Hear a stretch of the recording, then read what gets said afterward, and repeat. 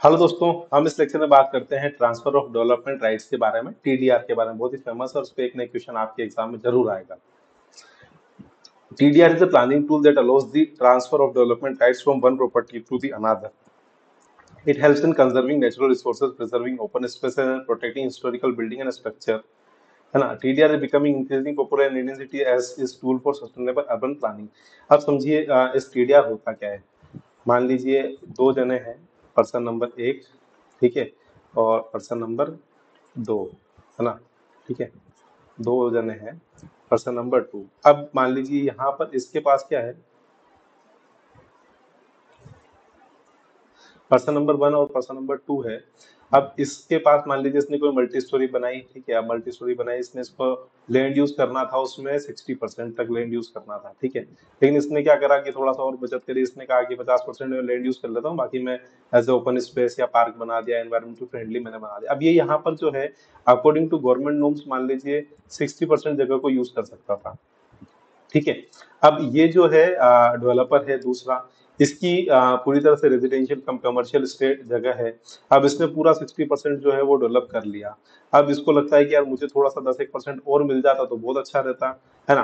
तो अब क्या होगा, इस केस में ये जो व्यक्ति है है ना, वो इसकी लोकेशन देखेंगे, सारी चीज़ें देखेंगे कमर्शियल एरिया है रेजिडेंशियल एरिया है, इसके जो राइट्स है कमर्शियल है राइट्स है, वो सारी चीज़ें देखने के बाद आप समझिए कि ये जो व्यक्ति है, इसकी जो दस प्रतिशत बची जगह, या दस प्रतिशत जो ये डेवलप कर सकता था अब ये कागज़ पे लिख के दे देगा कि भैया मैं डेवलप नहीं करूँगा आप मुझे बीस लाख रुपए दे दो ठीक है? है ना? तो ये से बीस लाख रुपए में ये इससे राइट खरीद लेता है ठीक है? अब ये कहता है कि मेरे पास जगह है साठ जगह अब मैं जो है सत्तर प्रतिशत इसको डेवलप कर लेता हूँ। तो इससे क्या होगा कि इसको भी कहीं इधर शिफ्ट नहीं होना पड़ा। गवर्नमेंट के नॉर्म्स भी पूरे हो गए और डेवलपमेंट का राइट्स होने के कारण ये यहाँ पर अपनी जो जगह है वो एक्स्ट्रा डेवलप कर पाया। तो इसे बोलते हैं transfer of transfer of development rights अब आगे समझते हैं। जो सबसे पहले ये इंट्रोड्यूस किया गया महाराष्ट्र रीजन में और बाद में अलग अलग स्टेट ने इसको अपनाया। ठीक है the policy included various state level development regulation policies जो स्टेट लेवल के डेवलपमेंट है रेगुलेशन हैं पॉलिसीज़ हैं, वो सारी सारी चीज़ें इसके अंदर इंक्लूड है। It is commonly use for conservation and preservation of heritage building and environmentally sensitive areas तो ये जनरली जो यूज़ किया जाता है, ये हेरिटेज कंजर्वेशन के लिए यूज़ किया जाता है और एनवायरमेंटल सेंसिटिव एरियाज़ को कंजर्व करने के लिए यूज़ किया जाता है। टीडीआर कैसे काम करता है?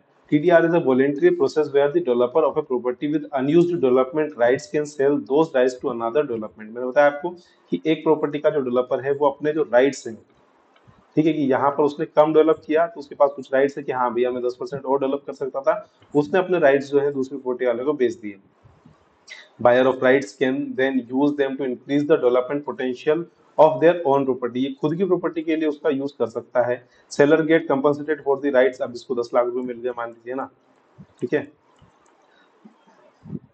And buyer can increase their development potential without having to buy more land अब इसको कोई दूसरी जगह खरीदने की ज़रूरत नहीं है, बस इसको अपने ही लैंड में थोड़ा सा कंस्ट्रक्शन एक्स्ट्रा करवाना है। क्या प्रोसेस है? पहले identification of sending and receiving areas तो ऑब्वियसली बात है, ये आपको आइडेंटिफाई करना पड़ेगा कौन से एरिया से आप भेज रहे हो, कौन से एरिया में रिसीव कर रहे हो। Sending areas are typical area with zoning restriction और where development is restricted due to environmental and other factors ठीक है? है ना? और receiving areas are typically design area where development is allowed दो टाइप के एरिया जहाँ रेस्ट्रिक्टेड होगा और जहाँ अलाउड होगा, है ना? तो रेस्ट्रिक्टेड एरिया से अपन अलाउड एरिया में उसको ट्रांसफ़र कर सकते हैं। Calculation of development rights the development rights of the sending area are calculated based on the difference between the permitted development and the actual development potential of the property वो इसी के base पे करते हैं मैंने बताया ना आपको कि परमिटेड कितना था 60 एक्चुअल कितना है 50 तो वो कितने का डिफरेंस आ गया 10 प्रतिशत का डिफरेंस आ गया ठीक है creation of TDR program transfer development rights का प्रोग्राम है TDR program is created by the local government to regulate the transfer of development rights to ensure that it aligns with the local planning goals and objectives तो ये अलग अलग जो local planning goals हैं objectives हैं, उनके साथ ये अलाइन कर सके। Sale of development right land owners in the sending areas can choose to sell their development rights to development of other land owners in the receiving area जो sending area है, उसका land owner उसको बेच सकता है। Verification recording of TDR कौन करता है? TDR verified and recorded by the local government or to ensure that the development rights have been transferred and used in accordance the TDR program. जो TDR program है, उसके according ही use किए। हम मान लीजिए, इसने तो कहा कि मैं पचास परसेंट ही यूज़ किया और मैंने इसको बेच दिया दस परसेंट। अब इसने सत्तर परसेंट यूज़ कर लिया। अब ये लगा कि वापस इसने दस परसेंट और बना लिया। तो ये जो है, ये गलत है, ठीक है? तो इसको कौन मैनेज करता है? लोकल अथॉरिटी म्यूनसिपल कॉर्पोरेशन नगर निगम, ये मैनेज करते हैं। क्या क्या बेनिफिट्स है टीडीआर के? TDR helps in conserving open spaces natural resources heritage structure इनको कंजर्व करने में काम आता है। It provide cost effective way to protect environmentally sensitive area while allowing development in area which it is needed TDR also helps in reducing sprawl and promoting compact and sustainable development जो बाहर sprawl होता है लोगों का, और compact और sustainable development को भी ये प्रमोट करता है कि हाँ भैया, यहाँ पर लोग बस ही रहे हैं तो थोड़ी सी परमिशन और देके इनको और ज़्यादा यहाँ पर बसा दिया, है ना? ठीक है? और preservation of open space and historic structure increase development potential in designated area incentive for land owner to preserve their property उनको अपनी प्रॉपर्टी बचाने के इंसेंटिव मिलते हैं.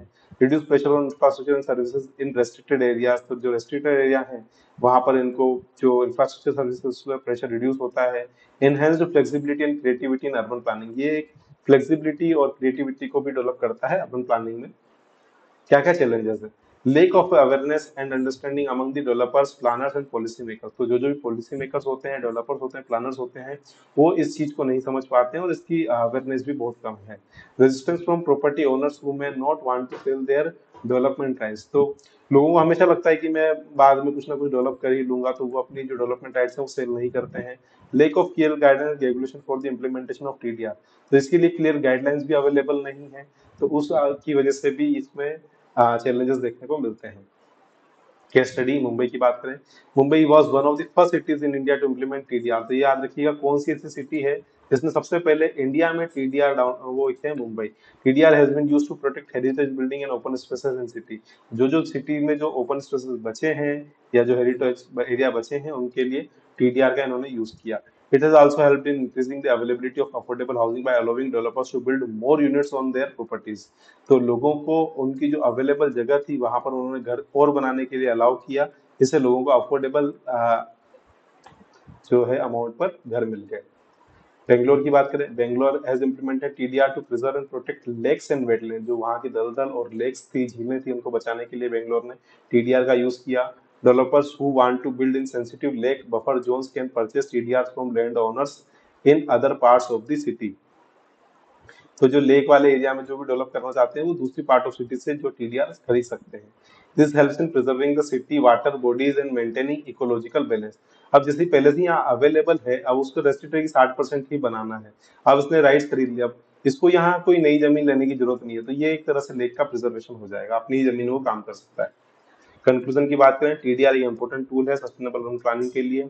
It can help in conserving natural resources preserving heritage structure and promoting compact and sustainable development its successful implementation requires a clear policy framework awareness and education and active participation of the stakeholders ठीक है तो इन सबको एक awareness एक clear policy सबको educated होना पड़ेगा, जागरूकता होनी चाहिए सबके अंदर, जो भी स्टेक होल्डर्स हैं।